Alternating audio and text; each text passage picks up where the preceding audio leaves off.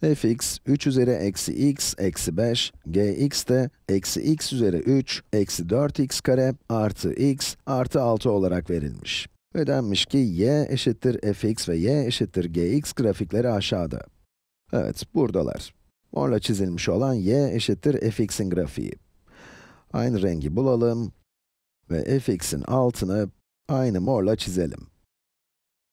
y eşittir gx'i de maviyle çizmişler. Yukarıda tanımını gördüğünüz gx'in grafiği de şekilde maviyle gösterilmiş. Bu iki fonksiyonun a'ya b noktasında kesiştiklerini görüyoruz.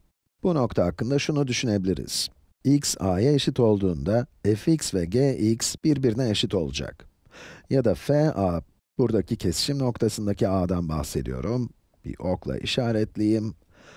Evet, burada f a, g a'ya eşit olacak.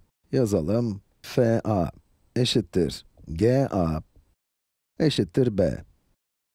Bu f fonksiyonuna a değerini verdiğimizde b buluyoruz. Aynı şekilde g'ye a değerini verdiğimizde de yine b buluyoruz.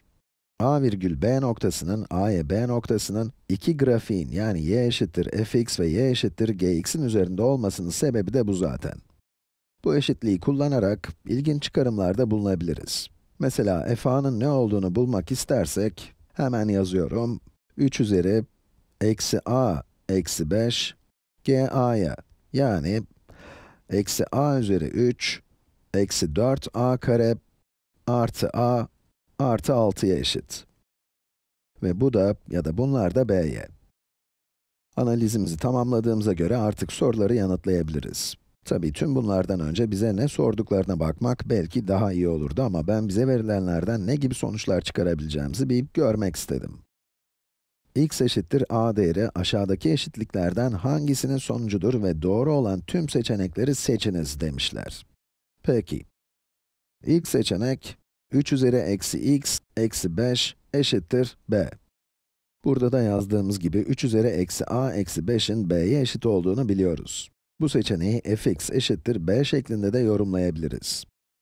Ve x a'ya eşit olduğunda fx'in b'ye eşit olduğunu biliyoruz öyle değil mi? O halde ilk eşitlik doğru. İkinci seçenekte fx'in gx'e eşit olduğunu vermişler. x a'ya eşit olduğunda, fx'in gx'e eşit olduğunu da biliyoruz. Bunun sebebi f a'nın g a'ya eşit olması. Bu arada bunun f'in, bunun da g'nin tanımı olduğunun bir kere daha altını çizeyim. fx ne zaman gx'e eşitti? x a'ya eşit olduğu zaman öyle değil mi? İşte burada f a g a'ya ve bu da b'ye eşit. O halde x a'ya eşit olduğunda bunların ikisi birbirine eşit olur seçeneği de doğru.